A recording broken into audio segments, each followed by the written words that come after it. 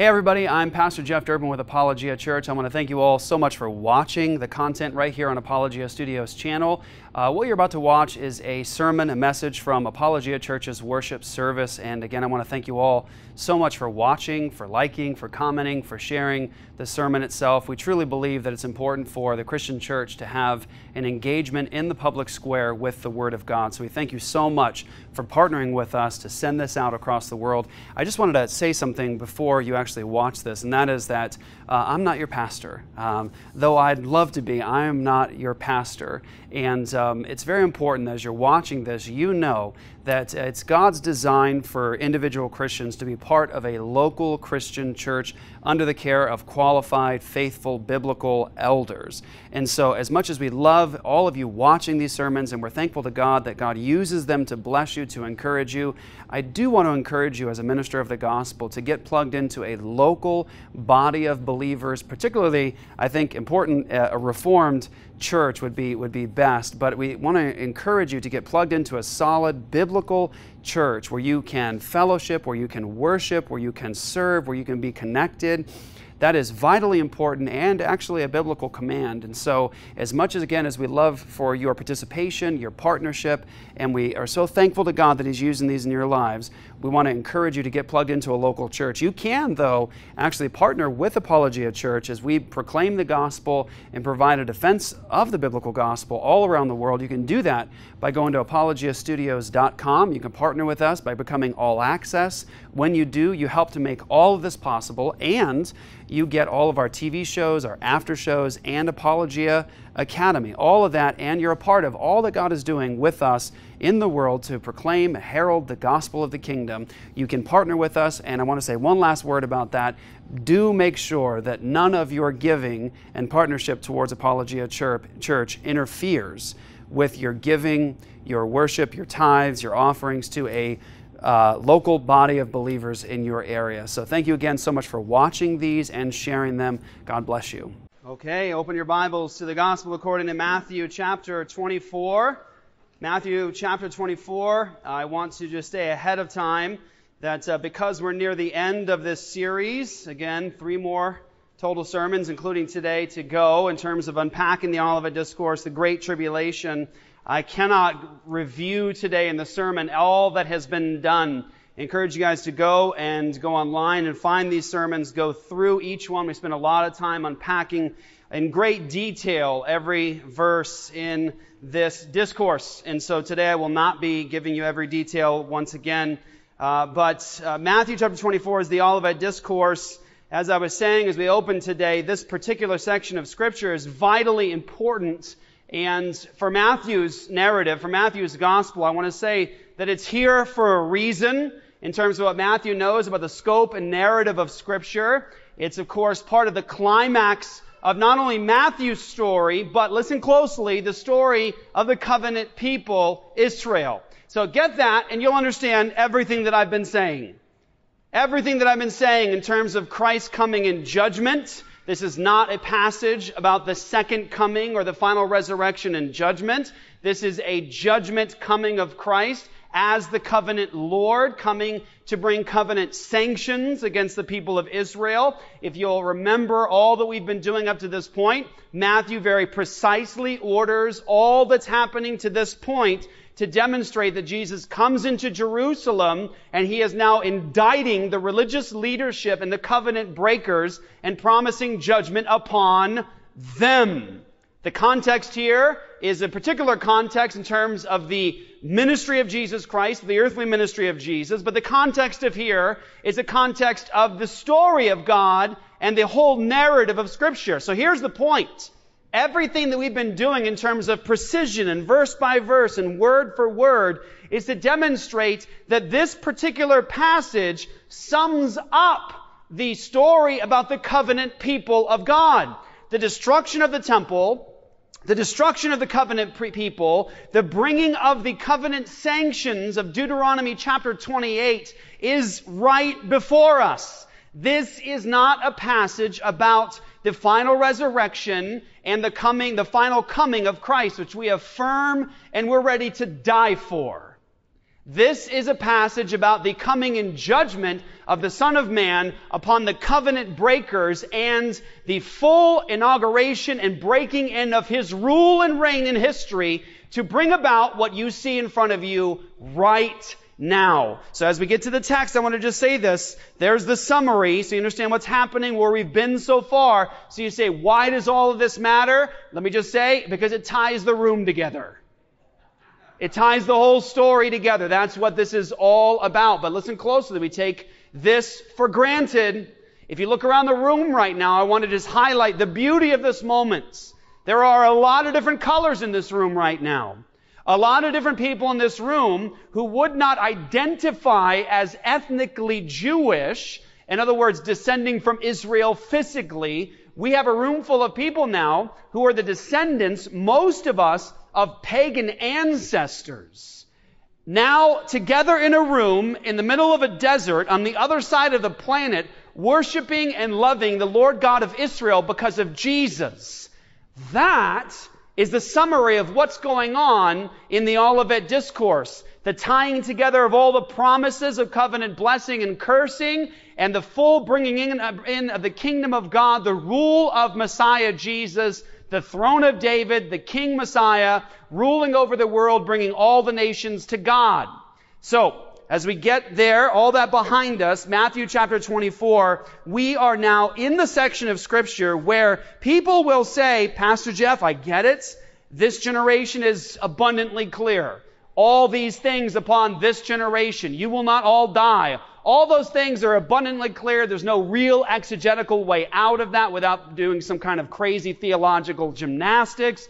It's clear Jesus is talking to those people about their generation and what was going to occur before they all die. And Pastor Jeff, I, by the way, I'm, I'm, reciting what I've seen come to us online thus far. I see that you said, yes, these things are going to occur. And they did.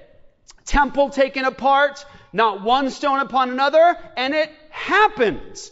It happened before they all died. The Roman armies come into Jerusalem. They slaughter the Jews. It's a terrible, terrible part of human history. It is unbelievable. The crucifixes around Jerusalem like a forest of dead bodies, blood flowing through the streets. The famine so bad people are eating dung and each other, including their own children.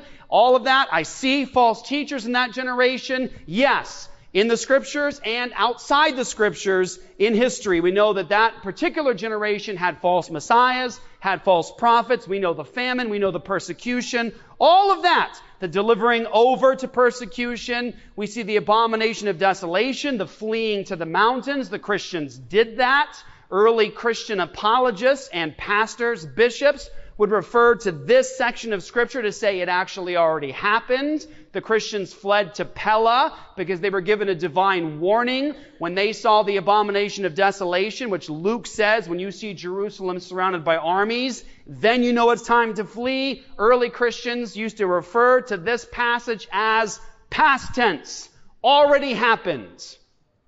However, there's no way that you can have the right interpretation if you're saying that this section of Scripture is past fulfilled, it is preterist, it is past in fulfillment because Jesus says things here that are cosmological. Jesus uses language here that is impossible to have been fulfilled before 70 AD. So let's go to the text. We're going to Matthew 24 in verse 27. Hear now the words of the living and the true God. For as the lightning comes from the east and shines as far as the west, so will be the coming of the Son of Man. Wherever the corpse is, there the, some of you guys are reading from the ESV, the word that is behind vultures there is most commonly referred to here as eagles will gather. Immediately after the tribulation of those days, the sun will be darkened and the moon will not give its light, and the stars will fall from heaven, and the powers of the heavens will be shaken. Thus far, the reading of God's holy word. So, there we go, right? Couldn't be. Pastor Jeff, I listened to John Hagee, and he said there's going to be blood moons, baby. right? Look at this. You say, well, why is this so important? Let me just give you just a small sampling. To say this is small would be a massive understatement. Uh, some books off my shelf from back when I was uh, hardcore dispensational premillennial. Hal Lindsey, Planet Earth 2000 AD, right? Argument in that book was essentially before 2000, man, we may not even make it to 2000. This is serious business.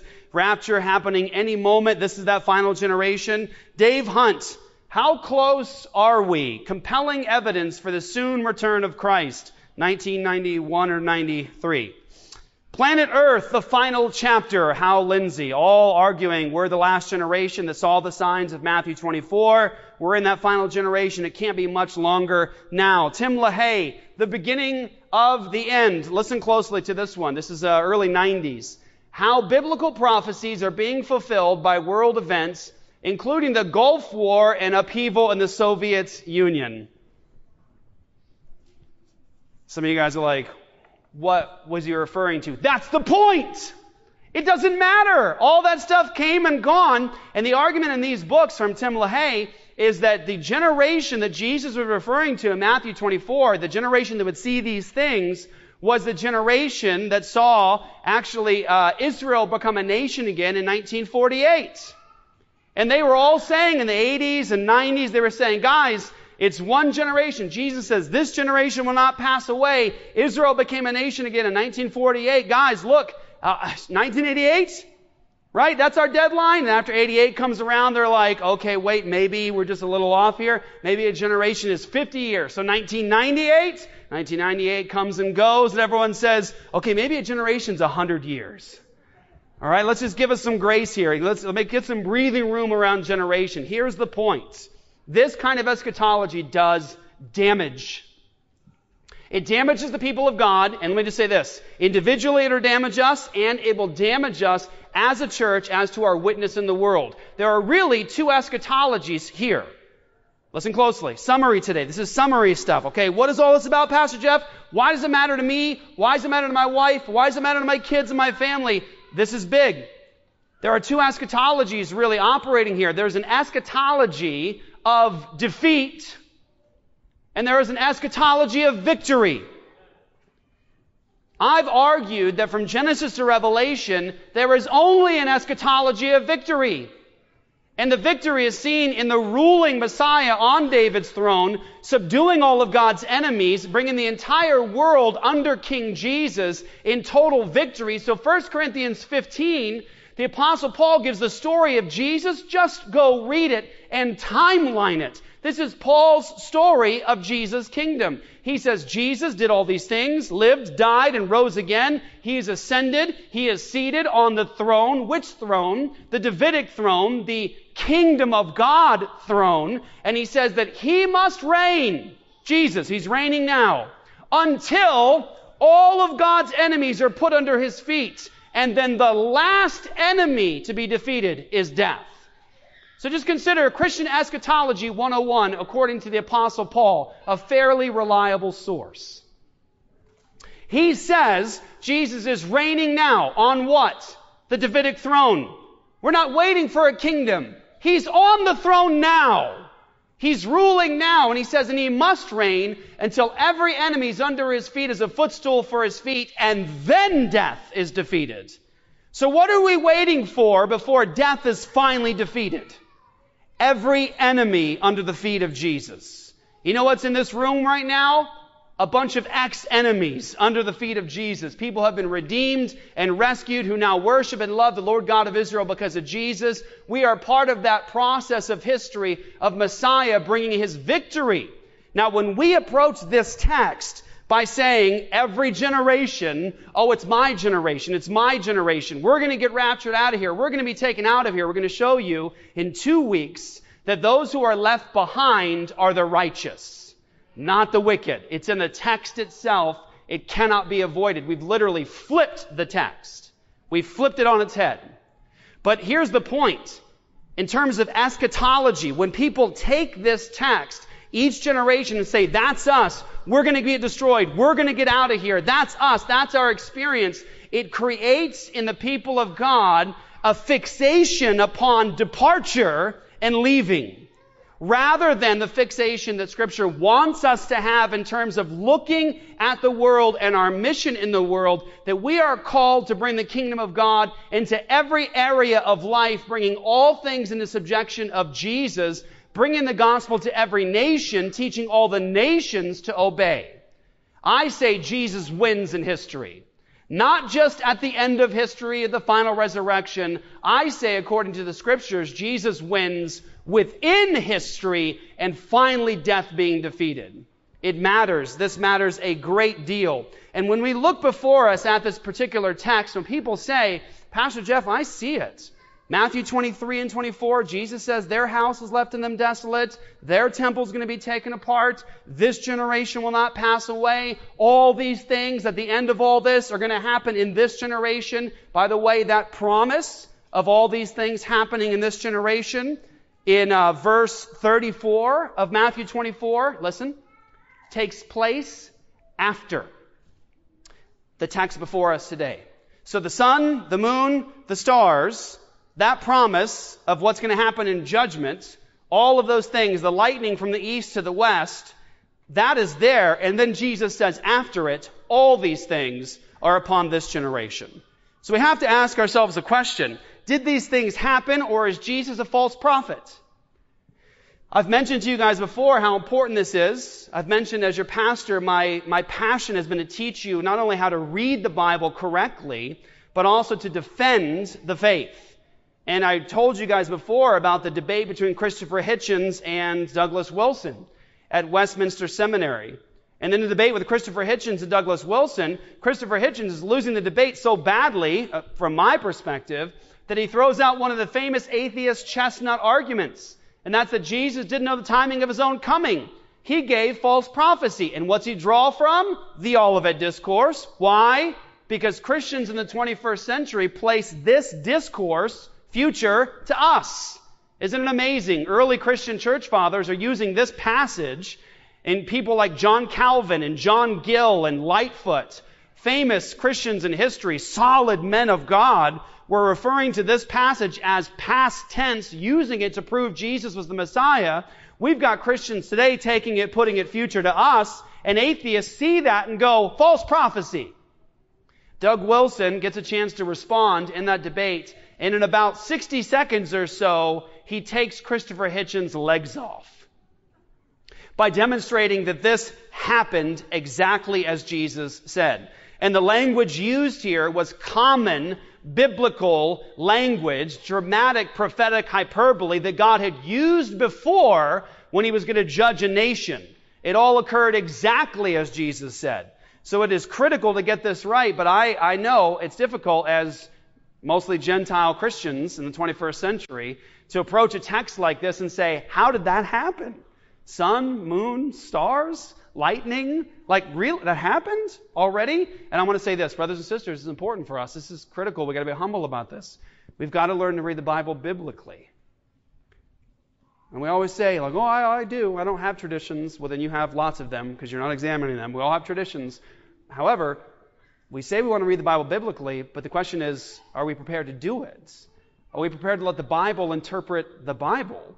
Or are we going to go to the Bible with our presuppositions that may actually be unbiblical and begin foisting those presuppositions upon the text, doing damage to the discourse itself? Read the Bible biblically. First thing, let's look at the text. Get your Bibles ready today because we're going to go as quickly as I can, but I want to get you guys into the Word of God and familiar with it. Here's the deal. Ready? Say, Jeff, why does this matter today? It matters because it ties the story of the covenants together. It matters because it vindicates Christ as the Messiah. And it matters because it demonstrates that Jesus is who he claimed to be. You can trust him. All of his promises are sure. They're yes and amen. You can trust him. So check it out. It says in verse 27, For as the lightning comes from the east and shines as far as the west, so will be the coming of the Son of Man. I'm going to talk about divine visitations in the Old Testament. Listen to that wording. Divine visitations in the Old Testament. This language that Jesus uses here, listen, very, very important here. He's the Jewish Messiah. If he didn't come talking like this, we would have reason to suspect that he's not. Jesus now comes as the fulfillment of all of God, God's promises in the line of all the biblical prophets. Listen closely. Jesus comes after Isaiah. He comes after Ezekiel. He comes after Jeremiah. He comes after Daniel. They've already got these books. They're reading them in synagogue. They're laid up in the Jewish temple when Jesus is talking here.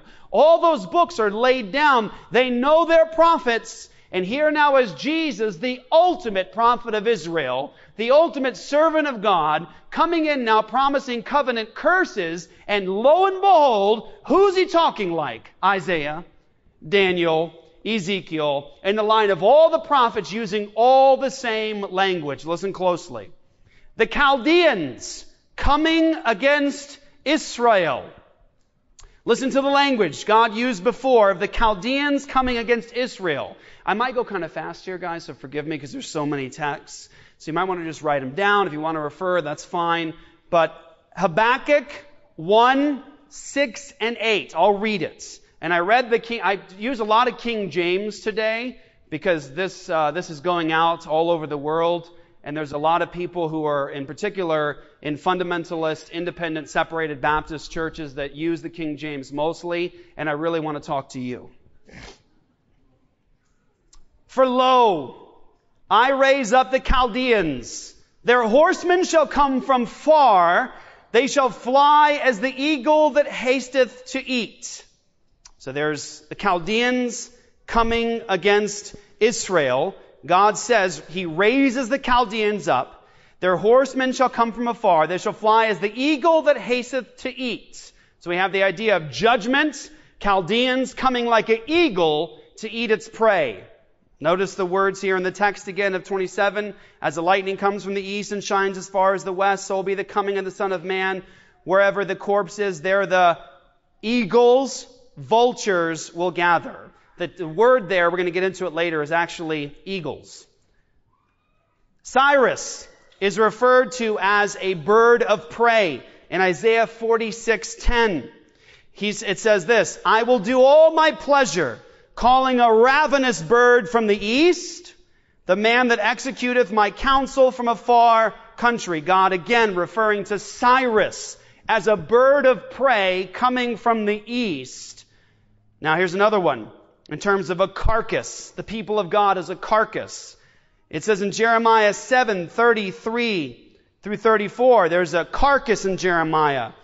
Judah and Jerusalem will become food for the predators. Here's where it says, quote, and the carcass of this people shall be meat for the, listen, fowls of the heaven and for the beasts of the earth for the land shall be desolate. Jeremiah 7, 33 through 34. So capture that. God has used the language of a carcass, a corpse, and God calling the hand of his judgment, a foreign nation from the east or from a far country to come and devour the corpse. A bird of prey coming to devour the corpse, the rotting corpse. So here is Jesus now saying, as the lightning comes from the east is to the west, there's that judgment language, so also will be the coming of the Son of Man. And it says, of course, wherever the corpse is, there the eagles will gather. Again, this is language that God used regularly in the prophets to describe, this is important, please follow me on this one, judgment coming upon his covenant people. When Jesus speaks like this, this is not a new experience for the covenant people. All they had to do when Jesus was saying this was literally open their Bibles. I did this because, did you get it? Okay. Got So they just open that scroll and read, oh, this is, of course, what Isaiah said and Habakkuk said and Jeremiah said. Or here's another one. Jeremiah, Jeremiah 19, 7 and I will make void the counsel of Judah and Jerusalem. Listen to the words there. Judah and Jerusalem in this place, and I will cause them to fall by the sword before their enemies, and by the hands of them that seek their lives. And their carcasses will I give to be meat for the fowls of the heaven and for the beasts of the earth. Jeremiah 19:7. There it is again. Another example of God raising up enemies to actually use as a hand of judgment on his covenant people. He refers to them as a corpse, and he will call the fowls, those predator birds, to come and pick at the carcass of Jerusalem. And lo and behold, Jesus says, Your temple's left to you desolate. These are the days of vengeance. All these things upon you. And as the lightning strikes from the east to the west, flashes from the east to the west, so also will the coming of the Son of Man be. It's powerful, isn't it? Another example against Assyria. This is Isaiah 30, 27 through 30. Behold, the name of the Lord cometh from afar, from far, burning with anger, and the burden thereof is heavy. His lips are full of indignation, and his tongue as a devouring fire, and his breath as an overflowing stream shall reach to the midst of the neck to sift the nations with the sieve of vanity, and there shall be a bridle in the jaws of the people, causing them to err. And the Lord shall cause his glorious voice to be heard, and shall shew the lightning down of his arm. With the indignation of his anger, and with the flame of a devouring fire, with scattering and tempest and hail stones. That's God speaking against Assyria. Are they around anymore? How does God talk about this? Fire. Consuming fire. Hailstones. And what's God's judgment described against Assyria as here? Lightning. So when Jesus comes talking about the judgment upon the covenant breakers and the destruction of their people and that temple, and he says, lightning from the east to the west, a corpse and eagles picking at that corpse, this is all in line with judgment language coming from all the prophets. And Jesus is, of course, the premier Jewish prophet and representative of Israel and the prophets. Another one, in terms of lightning. In verse Zechariah 9:14 it says, "And the Lord shall be seen over them, and his arrow shall go forth as the lightning, and the Lord God shall blow the trumpet, and shall go with the whirlwinds of the south. There's that dramatic, prophetic hyperbole that God uses often to describe his judgment. Now pause, hit the pause button for a second. You might be saying, okay, but how does, how does that work together? It's dramatic, prophetic hyperbole. This is in a way judgment. Uh, best way I can say this, I was saying it to Elliot this week, is like divine trash talk in a way. Maybe saying, well, like, well, what's that look like? Well, it looks like Egypt being destroyed. It looks like Assyria being destroyed. It looks like Nebuchadnezzar being taken down. It looks like the Persians being taken out of the way. It looks like actual judgment that falls on people and scatters their nation and destroys them. But this is the language that God uses. He uses this symbolic, metaphorical, um, hyper, hyperbolic language to describe judgment lightning flashing, corpses, birds of prey, constellations being taken out. Now, I want you to hear this. This is um, a great book, Matthew 24, Fulfilled by John Bray. Encourage you to get it in your library. But uh, there's a good quote here uh, in this book I wanted to read to you guys. And it comes from John Gill. And it was John Gill. By the way, anyone know who John Gill is? Raise your hand if you know who John Gill is. Okay. All right, I failed. All right. John Gill is the most famous of Baptists. John Gill was a theological ninja. John Gill was an amazing, powerful, mighty man of God and an incredible exegete. In terms of Baptist history, we've got some giants. John Gill is at the top. John Gill, get to know him get to know John Gill. John Gill, when speaking on this particular section, here's what he says. He says, So shall also the coming of the Son of Man be, which must be understood not of his last coming to judgment. Did you catch that? John Gill's in this passage, and he's saying this coming described here is not the second coming. It's not the final resurrection. It's not that coming of Christ. He says, not as his last coming to judgment, though that will be sudden, visible, and universal, but of his coming in his wrath and vengeance to destroy that people, their nation, city, and temple. So that after this, to look for the Messiah in a desert or a secret chamber must argue great stupidity and blindness, when his coming was as sudden, visible, powerful, and general to the destruction of that nation as the lightning that comes from the east and in a moment shines to the west. That was John Gill, King Baptist, talking about this particular passage, saying this isn't the final resurrection, this isn't the second coming of Jesus. This is talking about the judgment coming of the Messiah, coming to destroy the nation of Israel, the covenant breakers in the nation of Israel. Not all of Israel there was under judgment. Now, um, this is uh, interesting to talk about this section here. I, you notice that I changed the word there. How many of you guys have the ESV right now? There's a number of different translations here of the word there when it says lightning from the east to the west. It's very interesting. Now, follow me now. You say, well, what's neat? What's interesting about this? What's powerful? I think there's a lot going on here. I think there's actually a depth to this section that is actually pretty mind blowing and divine. We see in the Old Testament that God used the language of birds of prey, the carcass of his people. That was a sign of judgment.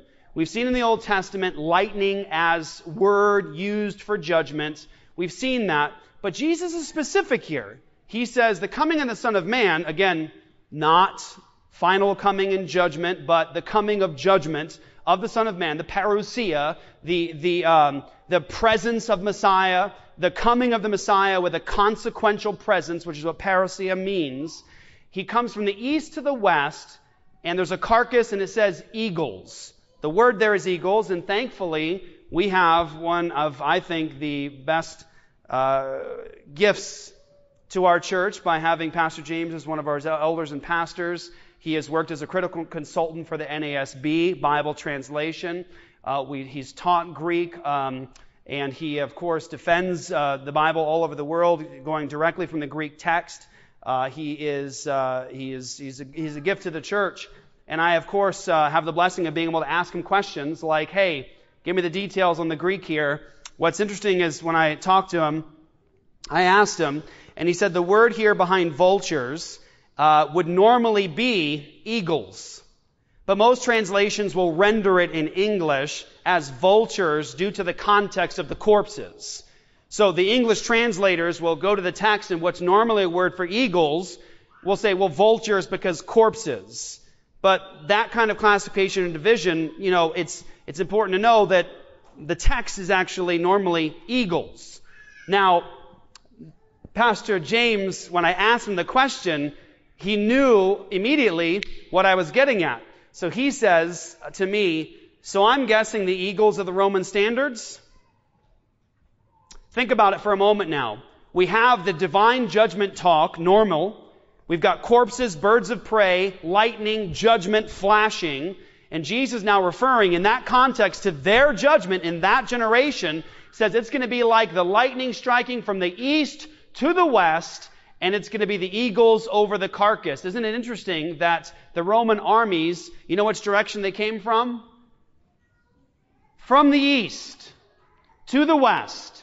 And you know that it's an historical reality, in fact, a known thing, that the Roman armies had the eagles over their standards. So when they came, listen, marching to the carcass of Jerusalem from the east, they were carrying the eagle's standards.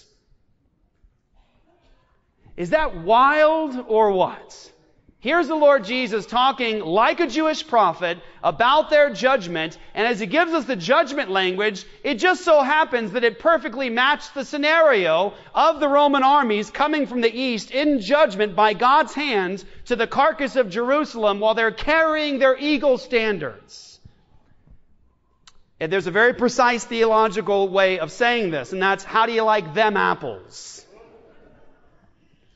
So, I wanted to read to you um, a reference from another well-known theologian, in particular, uh, talking about this passage in particular, and this is John Lightfoot, page 130 of that book I referenced. Here's what he says. Listen closely. In 1859, 1859, that, by the way, just quick summary here. The popular view, please hear me on this, is so critical. When I learned it, I was upset. I, when I learned it, I was upset. The popular eschatological view of the church in the West today of dispensational premillennialism, the idea of a secret rapture followed by seven years of tribulation, that whole story did not exist in the entire history of the church until the middle of the 19th century.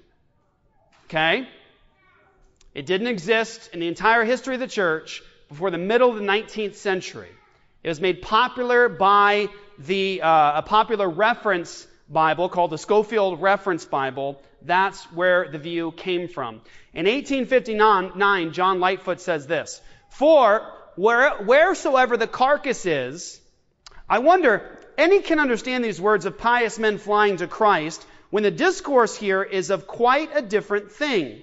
They are thus connected to the foregoing. Christ shall be revealed with a sudden vengeance. For when God shall cast off the city and the people grown ripe for destruction, like a carcass thrown out, the Roman soldiers, like eagles, shall straight fly to it with their eagles' ensigns, to tear and devour it. And to this also agrees the answer of Christ in Luke, when after the same words that are spoken here in this chapter, it was inquired, Where, Lord? He answered, Wheresoever the body is, silently hinting thus much that Jerusalem and that wicked nation which he described through the whole chapter would be the carcass to which the greedy and devouring eagles would fly to prey upon it. That's Lightfoot in the middle of the 19th century speaking on this particular text. Now, onward. A final word here on this. Final word on this particular section. I know I'm going fast,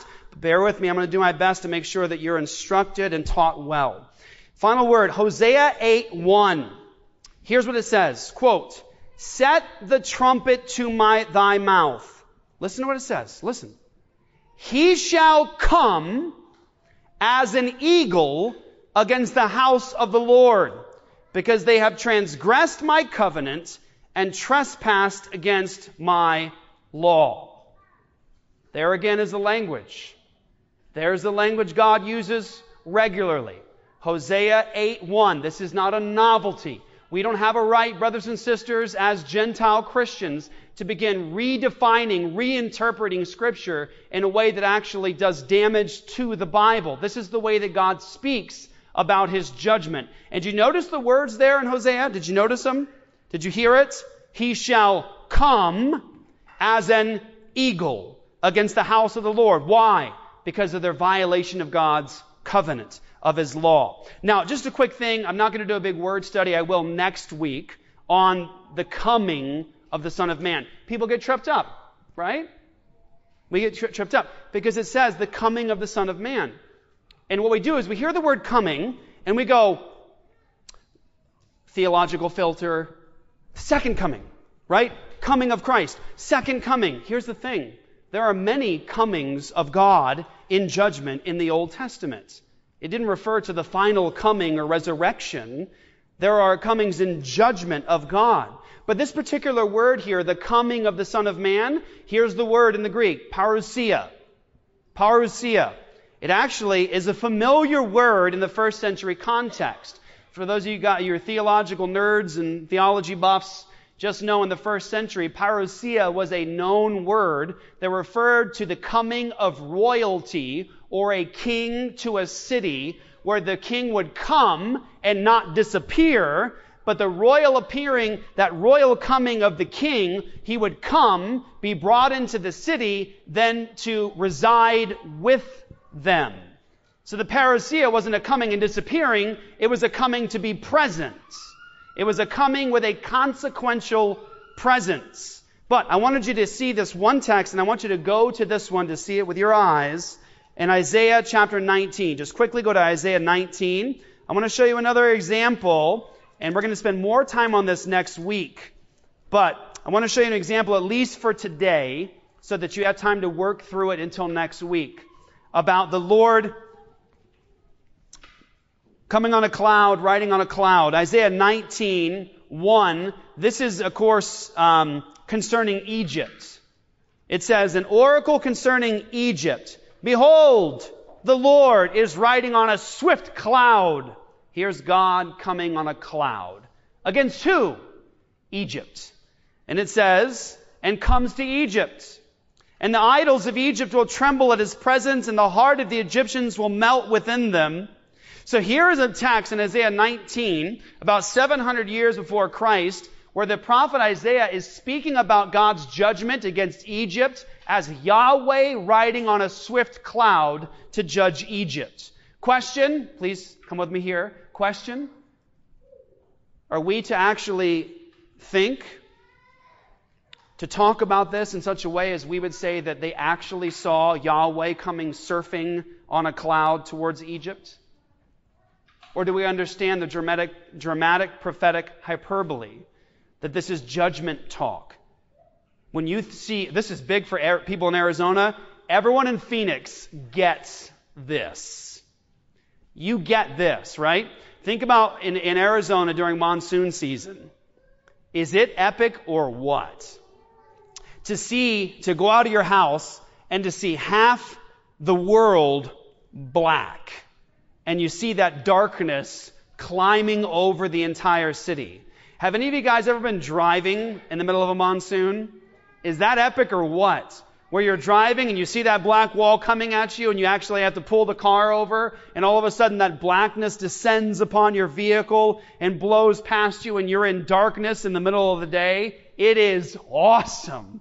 Or when you see the clouds coming over the city to just dump on us, what, what do you, what, what do you feel when you see that? Like, oh my goodness, this is like, uh, this is, this is a phenomenon. This is an amazing moment. It feels like darkness, gloom, clouds, judgment. The symbol of that is used by God to actually talk about judgment falling on people. So God comes riding on a swift cloud against Egypt. And it says the heart of the Egyptians is going to melt within them. Literally melts like into their bellies? Their hearts are going to literally melt into their bellies? Or do we understand the language that's being used here? God speaks this way in terms of judgment. Also, God uses pagan nations as instruments of judgment upon his people. A couple examples, go to it later. In Jeremiah 25 9, Nebuchadnezzar is called God's servant. That's weird. Pagan king, a wicked pagan king who wants worship is God's servant. According to Jeremiah 25 9, God calls Nebuchadnezzar his servant to do what? Judge his people. I raised you up. You're my servant. To do what? To judge my covenant people. Another one, Habakkuk 1 6. God raises up the Chaldeans against the land. There's another example of God raising up Chaldeans to do what? To judge his people. They're, his, they're in his hands. And the famous one, I love this one, in Isaiah 10, just go read it later, God actually talks about Assyria and he raises it up against his people and he sends Assyria against his people to judge them and then he turns around and he judges Assyria for doing what? For the wickedness of their hearts. So in this fallen world, you got wicked people, all evil, and God goes with a, God's like holding on to a rabid dog. He's holding back that rabid dog. It wants to devour and destroy everything, and he's holding it back, and he's holding it back, and holding it back. But when he sees his people being sinful, he goes, All right, I'll give you what you want. And he lets the dog go, destroys, and then he pulls it back, and then he spanks the dog for the wickedness. Do you see? God uses sinful people in this fallen world he allows sin for what for his own purposes, and he we never thank him for this. James points this out a lot. We never thank him enough for the fact that he stops people from doing what's in their heart all the time. We don't thank him enough for that. Quick thing here on symbolism, metaphor, and hyperbole. People get worried about this. When you talk about symbolism in the Bible, metaphor in the Bible, listen closely. I'm going to just say this very humbly, and I mean this so sincerely because I know how important this is. We all recognize the damage that liberal theology has done to the Bible over the last 150 years. It has been devastating to God's people. People go to the Bible and they think they can just turn it into metaphor and symbol. They think they can just mangle the text. They don't want to obey the words of God. I want to just say, as I start saying this, please hear me on this. I recognize the damage of the corrupt liberal theologians over the last century. I recognize that. But listen, just because they've, abused the Bible with their, um, with their uh, symbol and their metaphor and all the rest, doesn't mean that now we have to go the opposite direction and become such literalists that we can't recognize the Bible speaking biblically. Now, follow me on this, and I think this is actually kind of fun. The question is not literal interpretation versus symbolic interpretation. So let's get that out of our minds right now.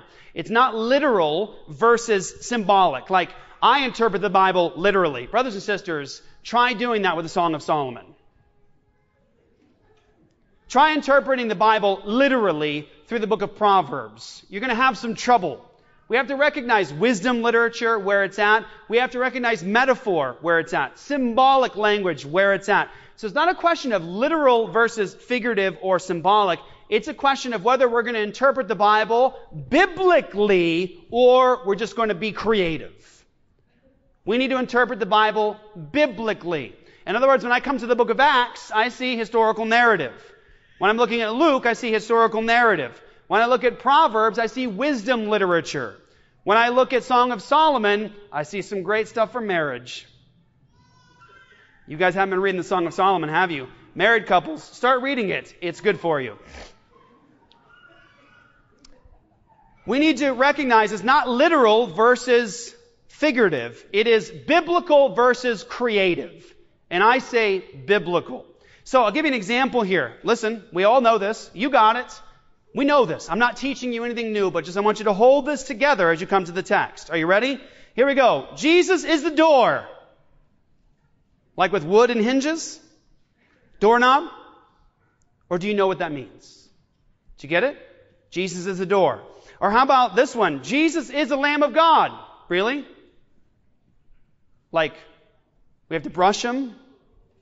Walk him along. No, that's not what that means. It's a symbol and it means something, and God gave that symbol. It has meaning. Our God is a consuming fire. Literally, fire? I thought God is spirit. Our righteousnesses are as filthy rags.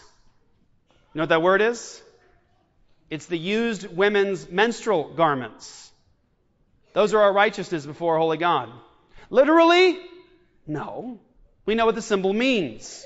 It's supposed to testify to something because we know what the thing is and it symbolizes something else. Jesus is the good shepherd and we are the sheep. He's the good shepherd and we're the sheep. We're in his sheepfold. Do we make sheep noises? Do we need baths? Well, yes, but uh, you know what I'm saying? Like, like literally, or is it actually supposed to testify to something about a shepherd and sheep relationship that you understand? Another one, false teachers are wolves. Are we looking for fur and teeth? Or do we understand that wolves come to destroy the sheep? They prey on other creatures. How about false teachers referred in Jude to clouds without water? Do you get what it means? They don't offer you anything. If you're looking for things to grow and to develop and to build, if you want fruit to develop, you need clouds with water. And Jude said, these are clouds without water. Another example is that Jesus refers to the covenant breakers of his day and the false teachers as white-washed tombs. You got to get really behind that, right? Because he's not just saying like there's white on the outside of it. He's saying inside there, stinking dead corpses. You are rotten. You are dead. You have nothing to offer. You're lifeless. You are a stinking, rotting corpse. That's Jesus talking to them about whitewashed tombs. Listen, we gotta come, we gotta come to grips with this, brothers and sisters, to interpret the Bible biblically. God is big on symbolism and symbolic language. Big. You already know this. Again, I'm not teaching you anything new here, but let's talk about it in terms of foundations. The Old Testament, the temple, the sacrificial system, the priesthood. The whole story of Abraham and Isaac, that was a symbol about what God was going to do with his own son. The priesthood, Jesus said in his ministry, destroy this temple and I will raise it up. And it says in the text, he was speaking of the temple of his body. So here's Jesus referring to himself as the true temple. Here is God actually saying, that temple, that, I'm the real one. Destroy this one, and in three days I will raise it up. God is big on symbolism. Peter said that we as Christians are all little stones. Little stones being built up into God's house. Christ is the cornerstone. He's the one that's holding it together, and we're all little stones being built up into God's house. Or how about this? God's big in symbolism. He just is. We got to get used to it and familiar with it. He's big on symbolism. We can't just all be literalists. Give you an example. Baptism and the Lord's Supper. You want to know how big God is on symbolism? He instituted symbolism as a core part of our worship as the people of God on a regular basis. Baptism and the Lord's Supper is a huge symbol given to us by God. How do we know what the meaning of these things is? Do we just get to get creative and just make it up? My answer is this. Biblically interpret. Which means God tells us the meaning. I'm going to argue this. We are not allowed to be creative. We're not allowed to just engage in conjecture in interpreting scripture. But we need the Bible to give the definitions. So, He defines it. For example, baptism is our death, burial, and resurrection. Amen? Yes? How do we know? Because Romans 6. That's what Paul says. That's how we know the meaning of that baptism. The Lord's Supper. Jesus says, eat my flesh, drink my blood. This is my body, this is my blood. How do we know it's a symbol? Interpret it biblically. God could not possibly be telling us that this is his literal flesh and literal blood. Why? Because eating human flesh and human blood is an abomination to God, and it's actually used as a curse and a judgment on people to eat other human beings. So could the Messiah, the perfect law keeper, be telling his people to eat human flesh and drink human blood? No, it's a symbol. And in John 6, Jesus tells people that he's the manna from heaven. Did you get it? I said God loves symbolism, and I just showed you. Manna fell from heaven for real. That's not fake. It's not mythology. They were going through the desert, and manna fell from heaven. Really. He actually really fed them manna from heaven. And Jesus said this. Ready? That whole experience, the whole thing with the manna falling from heaven, that was God telling my story ahead of time. Because I'm the true bread from heaven. And you've got to eat my flesh, drink my blood. And they're like, ew. They were. That John 6, they're like, ugh. What? Eat his flesh? weird. And Jesus basically tells them what he's saying that eating his flesh and drinking his blood is coming to believe in him, coming to receive him, his life, his work into their lives. So here's the point in terms of symbolism and metaphor. Scripture should be telling us what the symbol means. We don't get to just be creative. Now, it's part of our normal experience. And this is where we're going to finally be wrapping this up, so follow me here. It's part of our normal experience. We do it all the time, every single day. I'll give you an example of the kind of way, the ways that we speak like this in our normal experience. You might see two boxers at the, the, the pre-fight, right, uh, weigh-in, and they're in each other's faces, right? And the guy says something like, I'm gonna knock your lights out! Right? What does that mean?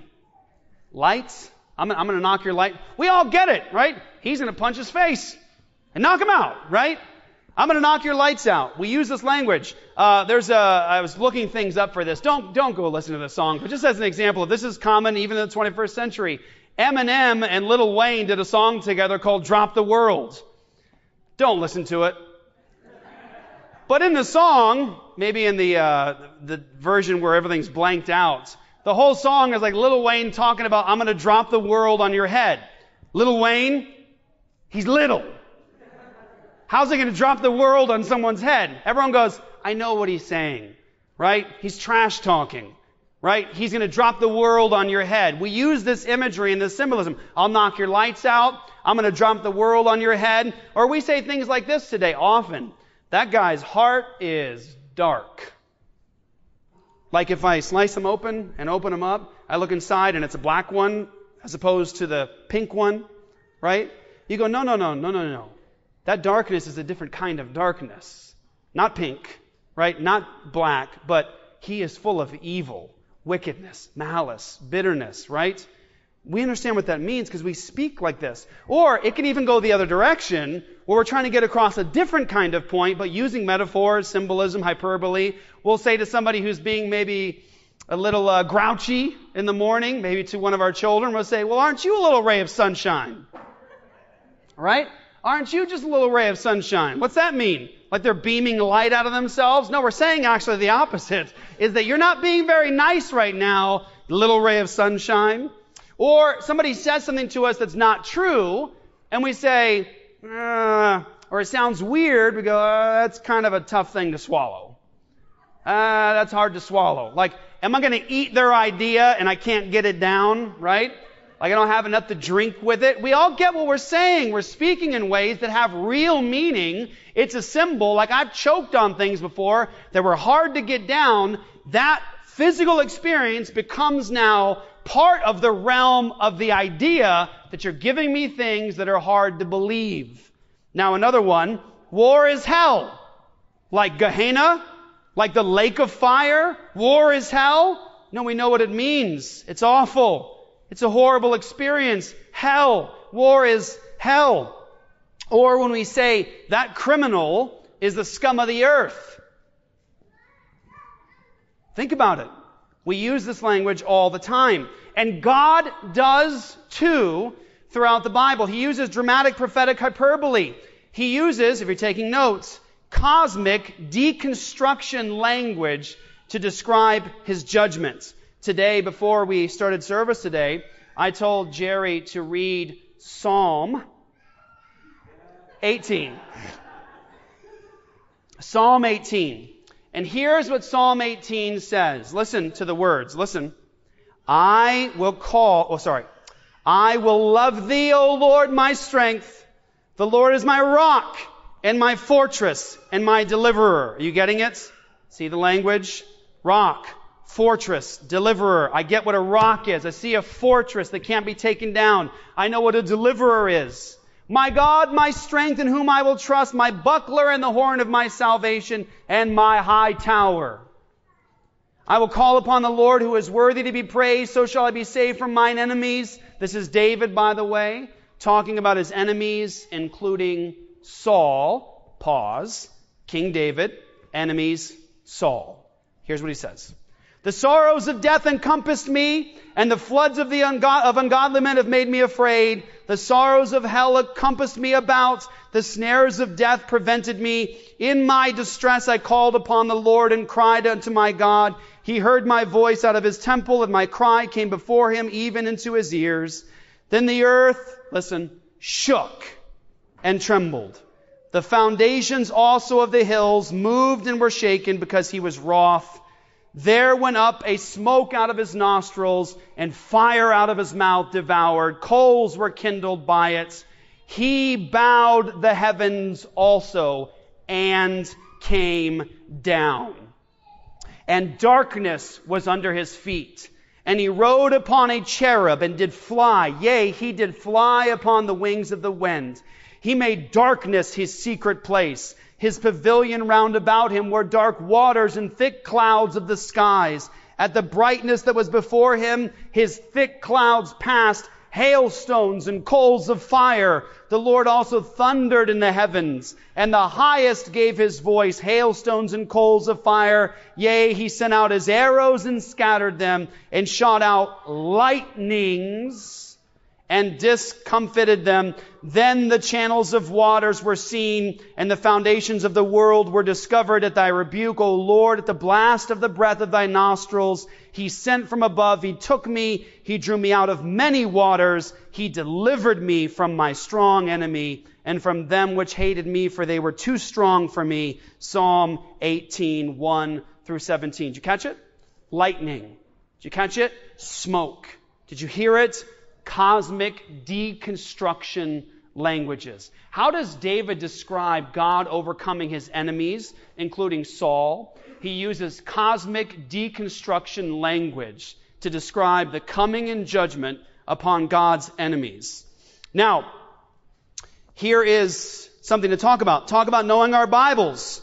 Jesus was quoting something in Matthew 24 that had been said before. God used this kind of dramatic prophetic hyperbole and cosmic deconstruction language to describe his judgment. Now follow me. Last points here. It's big. Remember I told you at the beginning. People say, Jeff, I get it. All those things you could demonstrate happened exactly as Jesus said. But the language of stars and constellations and that kind of cosmic deconstruction, how can that be before 70 AD? And I hope you're already hearing it. It's dramatic, prophetic hyperbole, cosmic deconstruction language that is common, but here's what's more important. I left this for the end. Follow me on this. If you're Jewish and you're raised reading the Torah and the Tanakh, when Jesus said this, I'll read it to you.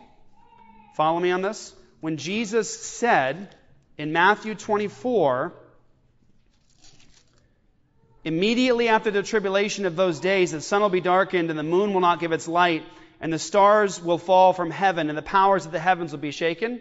Listen, if you're Jewish and you know the prophets, and you're hearing Jesus describe judgment in that generation, you should have gone, um, I know where he's quoting from.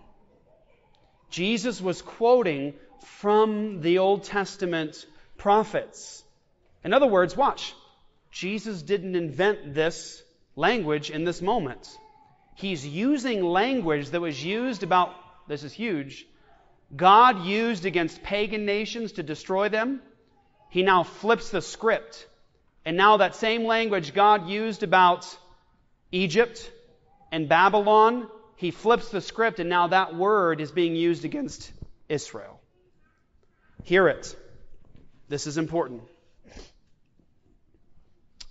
The judgment upon and fall of Babylon to the Medes in 539 BC. Here's what God says. Behold, the day of the Lord cometh, cruel, both with wrath and fierce anger, to lay the land desolate, and he shall destroy the sinners thereof out of it. Here it is.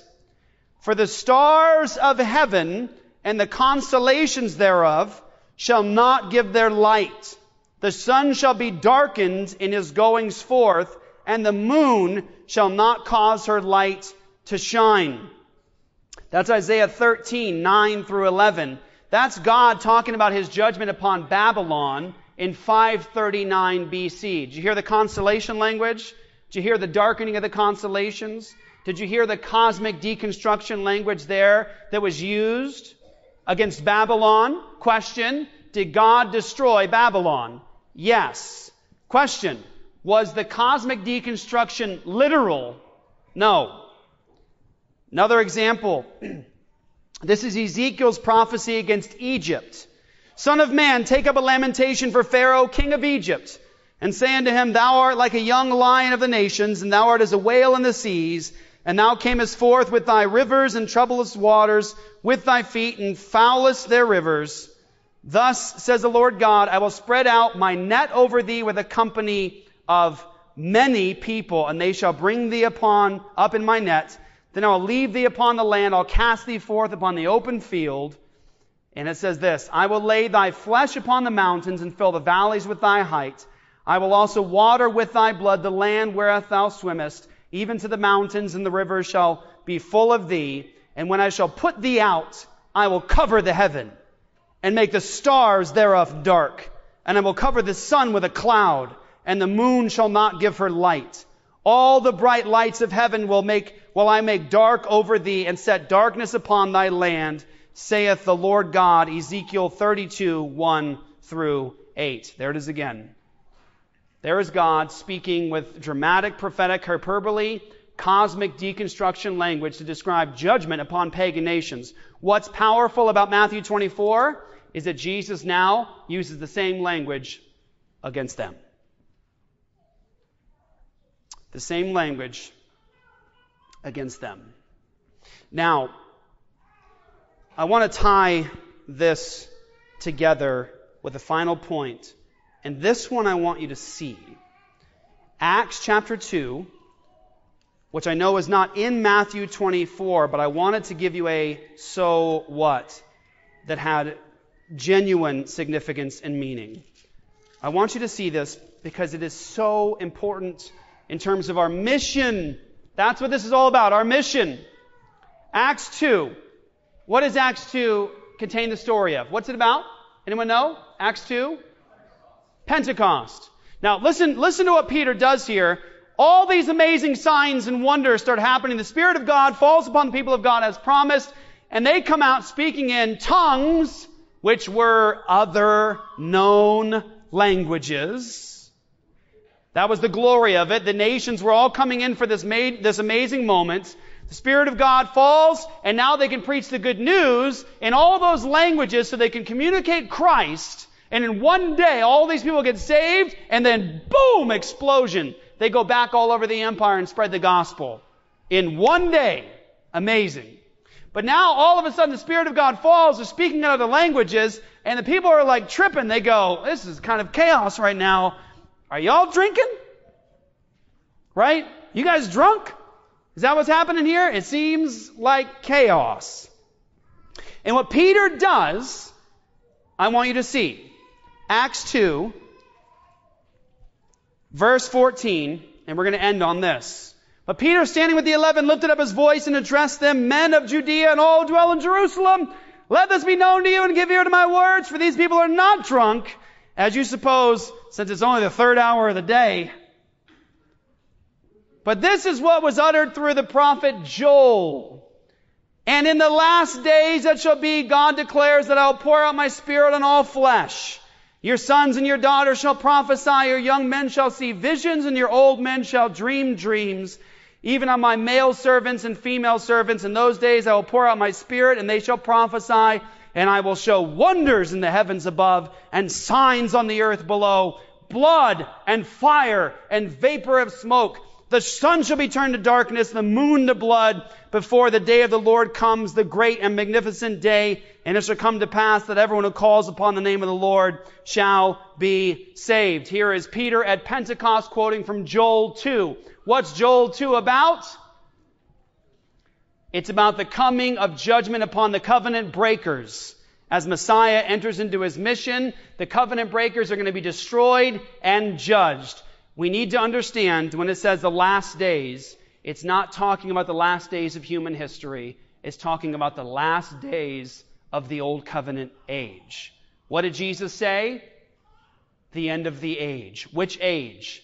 The old covenant age. What were they being prepared for? The age of the Messiah, the rule and reign of the Messiah. And I want you to see it in the text because it's right here in the text. As Peter preaches this to those Jews, and he warns them about the coming judgment upon them and why the Spirit of God is now among them in this way, he then does this. He tells them about Christ who rose again from the dead, and I want you to see what he quoted. Look here in verse 34 of chapter 2. For David did not ascend into the heavens, but he himself says, The Lord said to my Lord, Sit at my right hand until I make your enemies your footstool. Let all the house of Israel therefore know for certain that God has made him both Lord and Messiah, this Jesus whom you crucified. Now when they heard this, they were cut to the heart and said to Peter and the rest of the apostles, Brothers, what shall we do? And Peter said to them, Repent and be baptized, every one of you, in the name of, the G- of Jesus Christ for the forgiveness of your sins. You'll receive the promise of the Holy Spirit. So here's the point. All this talk of judgment upon the covenant breakers from the Olivet Discourse, the Great Tribulation, that flows throughout the New Testament, and listen closely, and we're finished. That was the start of Peter's story at Pentecost. You killed the Messiah. You're about to be judged. Joel 2 says that the last days, God's going to pour His Spirit out. That's what you're seeing right now. And He says, and then what? Blood, fire, pillars of smoke. Judgment's coming upon you. You killed the Messiah. He's ascended. He's at the right hand. He's ruling on his throne right now, and he's placing all of his enemies under his feet. That's being fulfilled right now. He's the Davidic king. And they were like, oh my goodness, what must we do to be saved?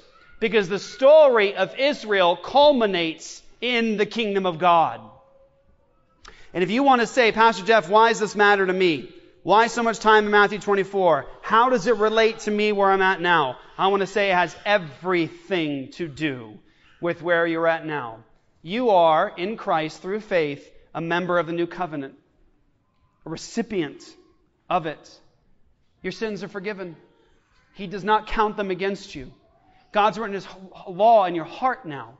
Is no longer on stone tablets. God kept His promises to bring salvation and judgment with Messiah. The judgment fell upon the covenant breakers exactly as promised. God did away with that temple. He did away with that priesthood system. He did away with the animal sacrifices. All that those are pointing to were summed up in Jesus Christ. All the hopes of Israel about the kingdom of God and justice and righteousness and peace and salvation around the entire world are now in motion in Jesus Christ. Do you catch this? You're saved. You're forgiven.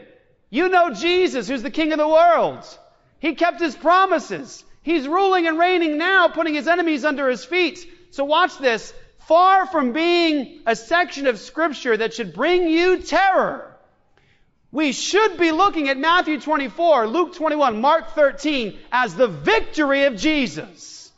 He said it. It happened. He is vindicated. He's the king. He's on his throne. So what's left? Fear of the future?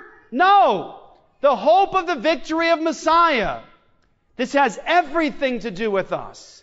If we can see that you don't have to face the Olivet Discourse with fear of the future, if we can see that it already occurred as promised in history and that Jesus is reigning now, watch, it reorients us, doesn't it? Think about it. If now you realize the Messiah is on his throne reigning, bringing salvation to all the tribes, tongues, peoples, and nations, does that reorient you in terms of your focus? Mothers and fathers, you should be building your little patch of garden God has given to you, cultivating it, growing it, expanding it out into the world. Might be saying as mothers and fathers, I don't have any children. How do I raise them up and send them into the world? How do I cultivate this garden? Well, I don't know what God specifically has planned for you, but how about you adopt some babies? How's that for, how's that sound? How about you make some babies, adopt some babies, send those babies out into the world? And if you can't disciple these little ones given to you on your care, how about you go make some disciples? How about you go win the nations for Jesus? How about we look at the world now in different, different way where we say it's not under the domain of Satan. It's under the rule of Jesus. He's the king. He rules over all. It should reorient us so when we see injustice around us or evil around us, we bring the good news of his kingdom there.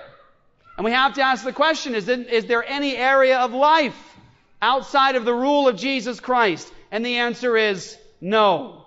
Far from being a section of Scripture that should drive us to fear of the future, this section of Scripture is supposed to be one of those things that holds us up saying, I know Jesus is the Messiah. Why? Because in Matthew 24. He kept his promise. So what do we have now ahead of us? Watch, I'll just end this. People have said that before. They have. They've said that to me before.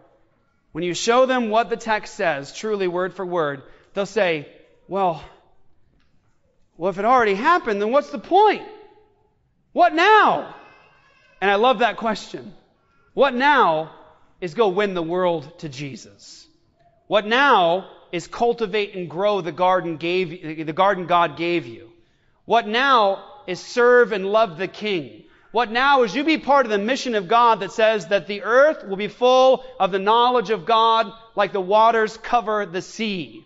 He shall have dominion from sea to sea, from the river to the ends of the earth.